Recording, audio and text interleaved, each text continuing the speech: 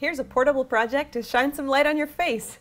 Whether you use it for checking your makeup or taking photos, this simple soldering project uses a compact makeup mirror outfitted with Adafruit LED sequins and USB rechargeable LiPoly battery circuit. Let's get started. You can find all the parts and tools for this project linked in the complete guide on the Adafruit Learning System, as well as a circuit diagram, all at the link in the description. First, stabilize your wobbly compact on a towel and with a weight to hold it steady. Use E6000 adhesive and a toothpick to glue the sequins in place where they won't prevent the compact from closing. Tweezers come in handy for fine-tuning their positions. Let the glue dry before proceeding to the soldering step.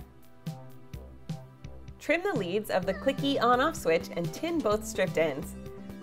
Solder one switch wire to ground of the Adafruit LiPoly charging board. This project isn't very complicated, but requires some finesse during construction. The wires are too long, the compact won't close, and a wrong move with the hot iron could cause some cosmetic melting to your project enclosure.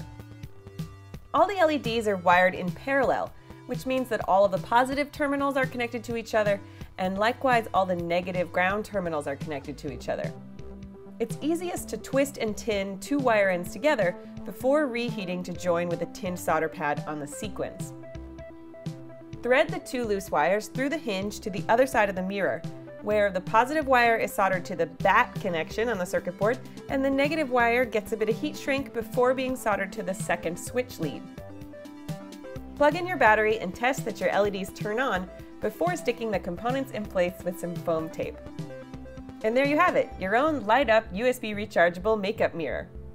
Let us know what electronic projects you're making on our weekly Show and Tell Hangout on Google+, and please subscribe for more project videos from Adafruit.